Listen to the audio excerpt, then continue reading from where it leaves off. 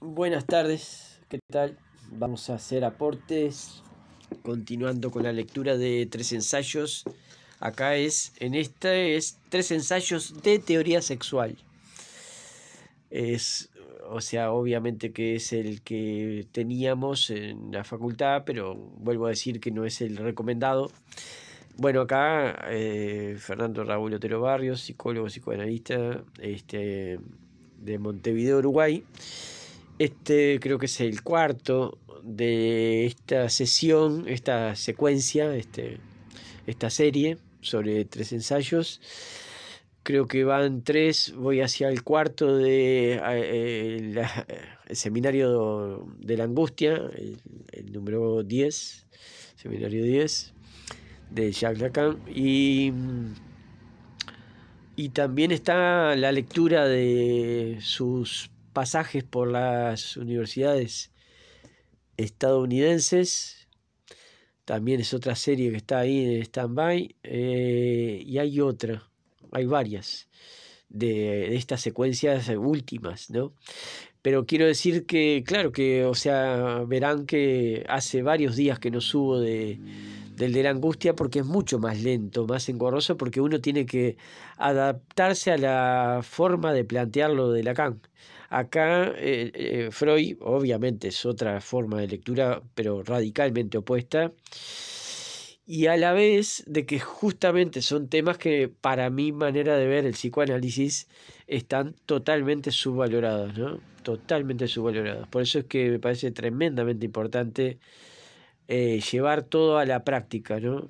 Está bárbara la metáfora, la, la idea de no hay relación sexual, no hay mujer, pero bueno, a mí lo que más me interesa es el psicoanálisis apuntando a la relación sexual que no hay, a la mujer que no existe.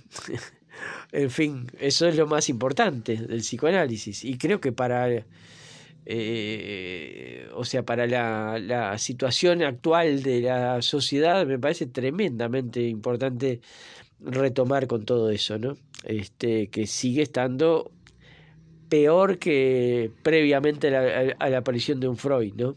Habría que tener un Freud por, por cada generación. Fundamental que haya un Freud por cada generación. Bueno, acá habíamos dejado sobre el tema de, y voy terminando primero que nada con aclarar esto fundamental, ¿no? Cuando terminamos de hablar de las divergencias o desviaciones con respecto a la meta sexual, ahí estábamos hablando de algunos de los ejemplos sobre la idea de las perversiones, donde es fundamental la aclaración y obviamente que hay que hacer un YouTube expresamente, por lo menos uno, una secuencia sobre las perversiones, para que quede claro de qué hablamos cuando hablamos de perversiones, digo porque justamente lo termino aclarando y lo retomo en esta oportunidad de que una cosa es rasgos perversos que todo ser humano tiene que tener, porque ese es el niño perverso polimorfo que tenemos dentro, y la perversión como entidad nosológica, como entidad psicopatológica. Y también ahí estuve comentando algo que no lo vi nunca aclarado de esta manera. Eh, cada uno se queda con las ideas que le gusten, a quien le guste como lo explican. Pero bueno, acá aprovechando mis conocimientos desde, bueno, más que nada, capaz que desde mis vivencias como ser humano, que creo que es lo que más le ha permitido a Freud y a Lacan hacer sus aclaraciones. Digo porque lamentablemente uno ve muchas veces colegas que quieren ser psicoanalistas y se piensan que todo está en los libros, ¿no? Fundamental los libros, ¿no? Sin los libros estamos en el horno. Pero si uno no supo aplicarlo de la cotidianidad, o sea, eso que nos enseña la vida cotidiana y los analizantes, los pacientes con los que trabajamos, si no sabemos aprovechar eso para poder eh, decir, acá se equivoca Freud, porque obviamente uno ve en la realidad que eso que dice no es tan cierto. O acá se equivoca Lacan en tal cosa, porque tampoco es de esta manera como lo plantea. Y lo voy a decir sistemáticamente, ¿no? Bueno, y ahí, por ejemplo, Freud, ya lo dije mil veces, asuntos de Freud. Y uno importante es que habla de excitación, hace un entrevero ahí de la palabra excitación cuando uno tiene que tener la idea de subyacente, de base, las pulsiones.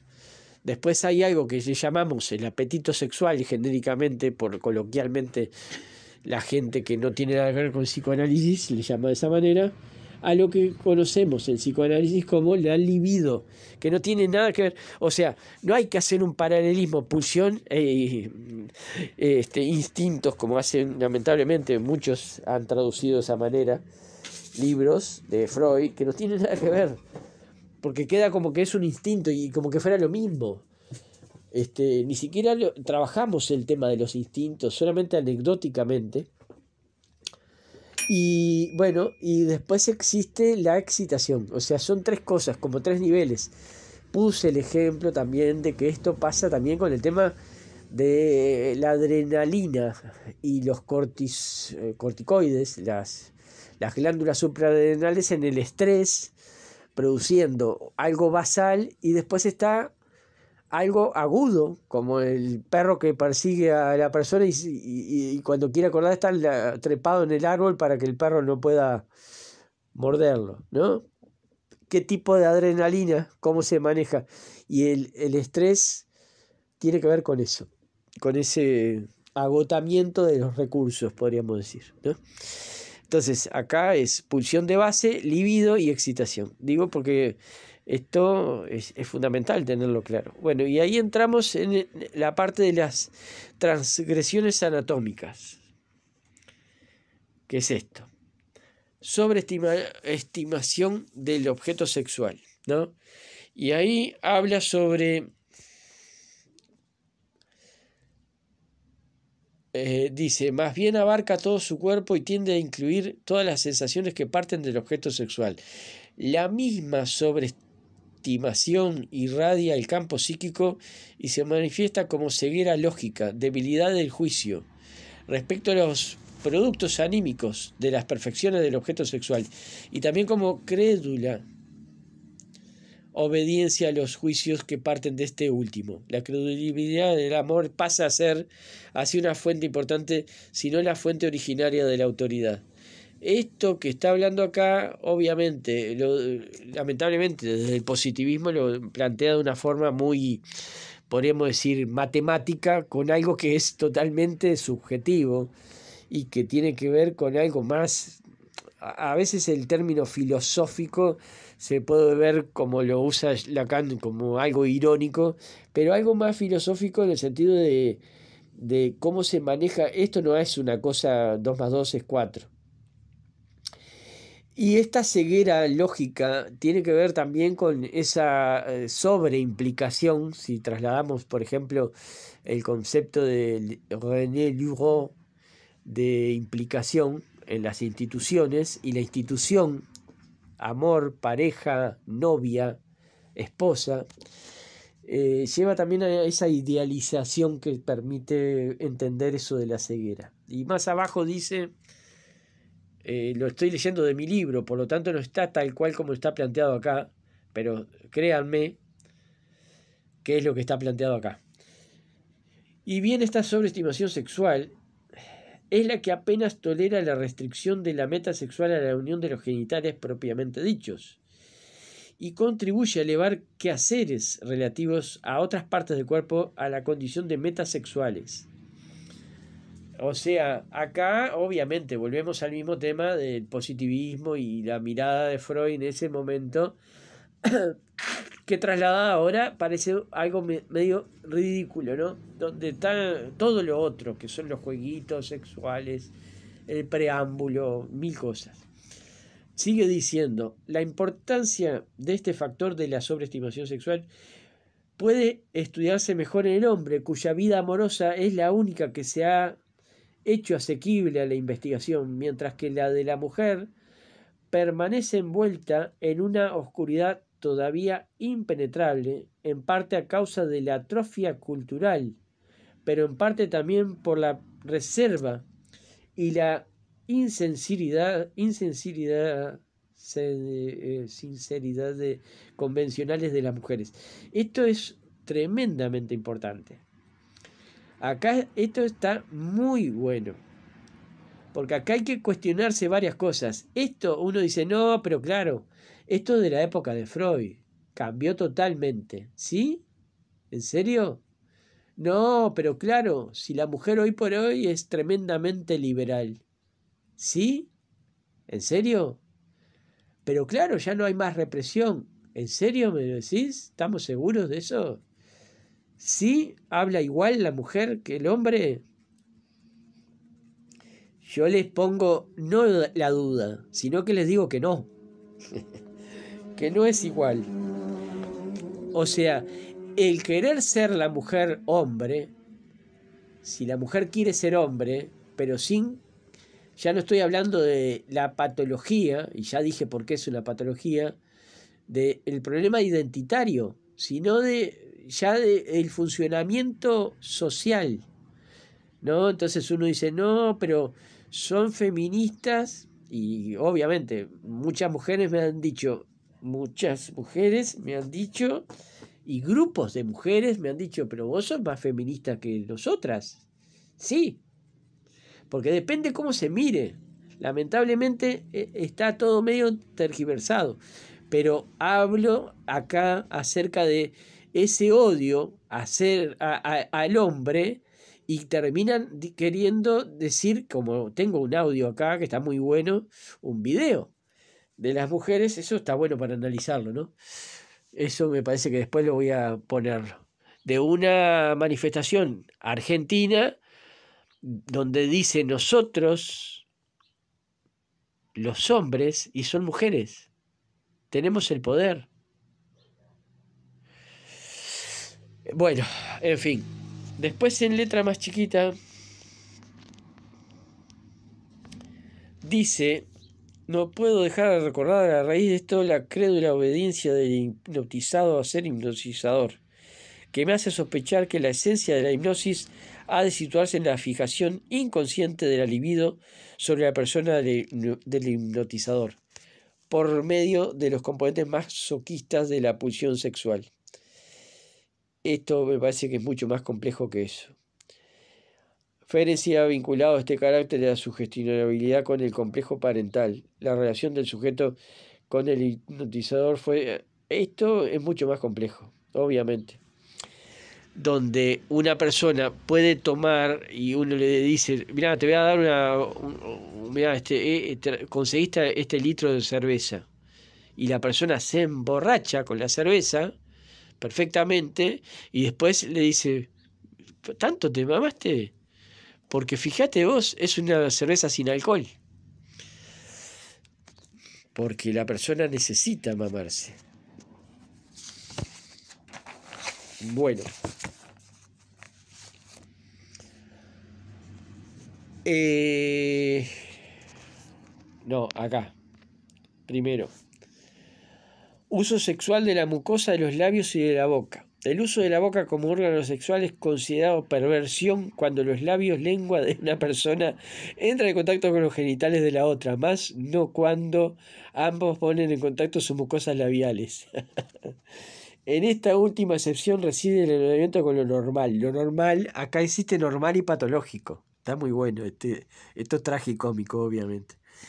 Con, eh, quien considerando la perversión es abomina de las otras prácticas, usándole sin duda de los tiempos originarios de la humanidad, cede de ello a un nítido sentimiento de asco que los resguarda de aceptar una meta sexual de esa clase. Eh, este, obviamente, ¿quién era Freud? Freud, o sea, hay, cuando ahora estaba leyendo ahí en el seminario de la angustia y hay una parte tragicómica de, de Lacan cuando habla de como los animales y el experimento o sea, de histeria de los animales. Una cosa es tragicómico ese planteo que hace Lacan, pero está buenísimo para ver lo que está equivocado de Lacan y ridículamente equivocado. Pero lo que quiero decir es, este,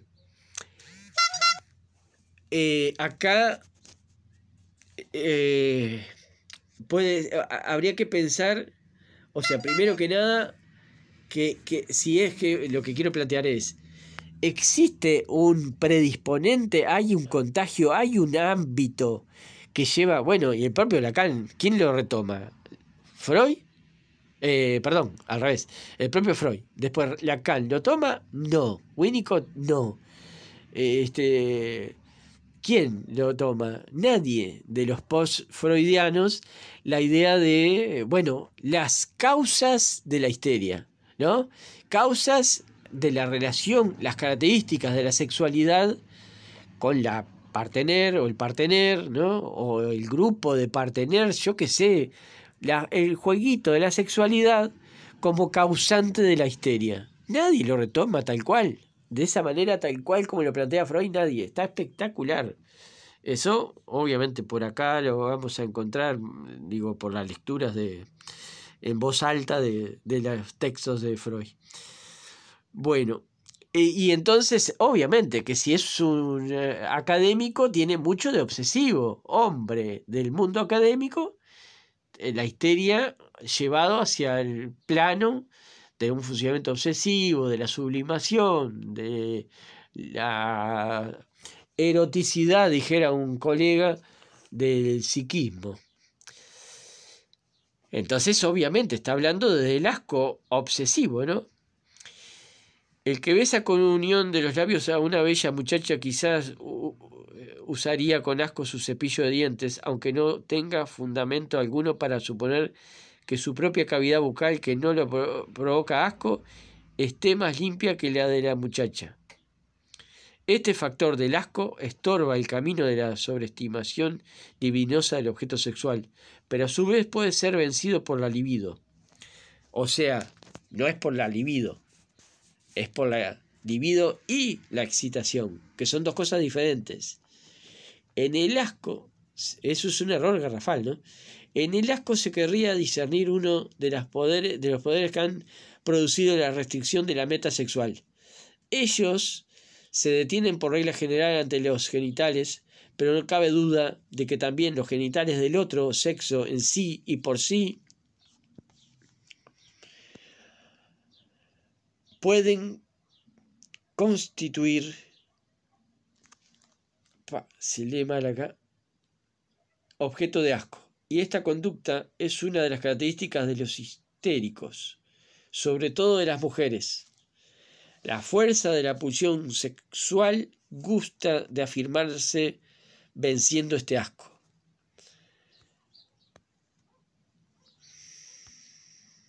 Ah, bueno, está acá lo dice. No cabe duda de que también los genitales de otros sexos, sí por sí, pueden constituir objeto de asco y esa conducta es una de las características de los histéricos y sobre todo de las mujeres. La fuerza de la pulsión sexual se complace en eh, afirmarse venciendo este asco. Uso del eh, sexual del orificio anal. En lo que respecta al empleo del ano, se reconoce con mayor claridad todavía que en el caso anterior que el asco, lo que pone a esta meta sexual el sello de la perversión.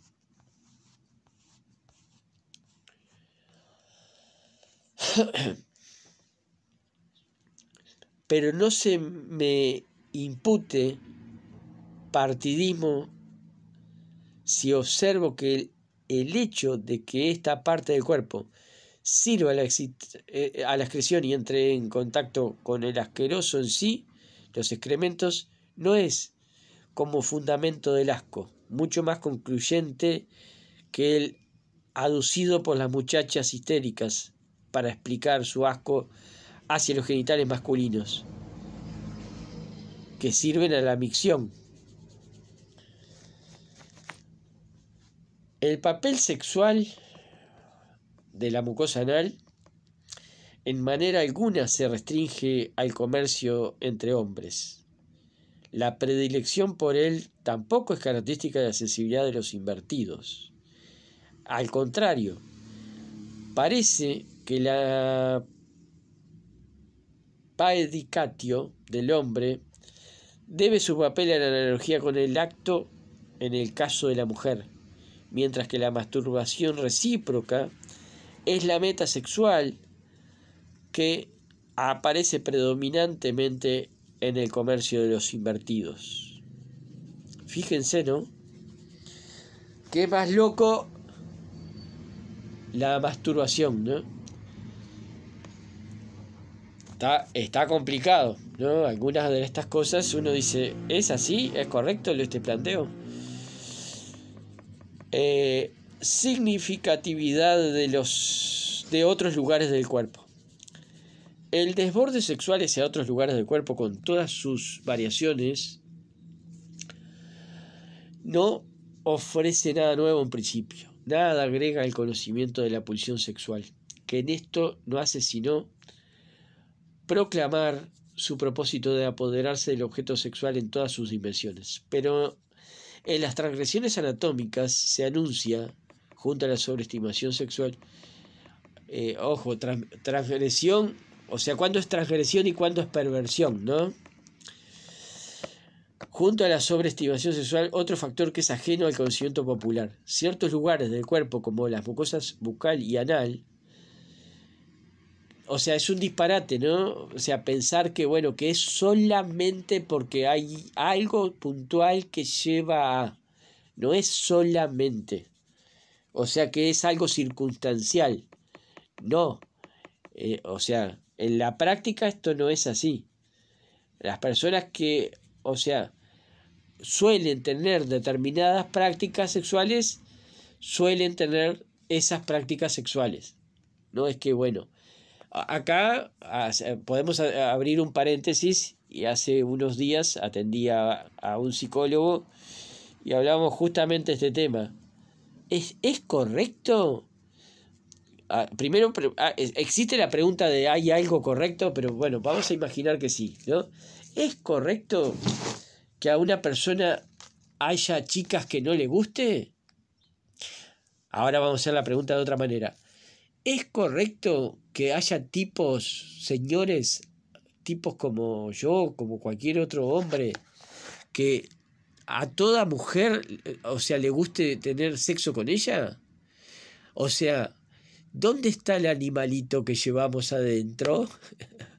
Cualquier animalito elige a su partener, pero nosotros no, porque es una muestra de nuestro, nuestra virilidad.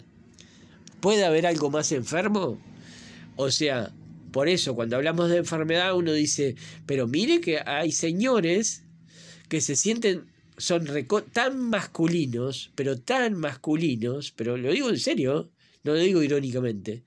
No, no, en serio, son tan masculinos que no se dan cuenta que la mujer es distinta. Entonces, si la mujer tiene poliorgasmo, que es natural en la mujer, porque de naturaleza es, o sea, cuando no lo es, hay que ver por qué no lo es. Ahí hay que ver el problema, no al revés. ¿No? De, de, o sea, de, de origen son este, poliorgásmicas las mujeres, ¿no? Entonces el hombre puede eyacular varias veces. Y se jactan de las veces que eyacularon en un encuentro sexual. O sea, algo más enfermizo no puede haber, porque el hombre tiene el, el periodo refractario Después de la eyaculación existe un reposo total, o sea, una caída de todo, no solamente una reducción del tamaño del pene, o sea, se pierde la erección, sino que, pero estamos todos locos. Los hombres son más mujeres que las mujeres y las mujeres son más hombres que los hombres. Voy a dejar por acá por un tema obvio que es el tema de los minutos, porque si no, no lo escuchan y además por un tema de la memoria del celular. Siempre que puedo hay que hacerlo de veintipico minutos como máximo. Un saludo cordial.